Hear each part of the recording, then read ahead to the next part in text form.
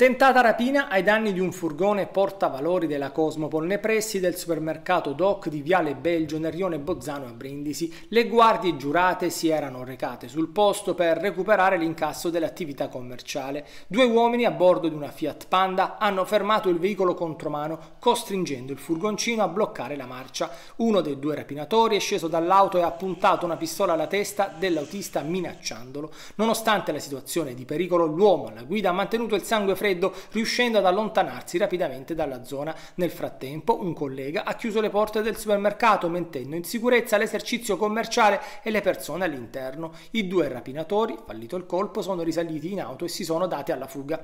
Gli agenti della squadra mobile di Brindisi, allertati prontamente, si sono messi sulle tracce dei malviventi. Dopo un inseguimento serrato, la polizia è riuscita a bloccare uno dei due banditi, un giovane di 25 anni che è stato arrestato e portato in questura per le formalità di rito. Il complice tuttavia è riuscito a fuggire e al momento è ancora ricercato. Alla scena hanno assistito diversi avventori del supermercato e alcuni passanti che hanno contribuito a fornire dettagli utili. Gli inquirenti mantengono stretto riservo sulle indagini.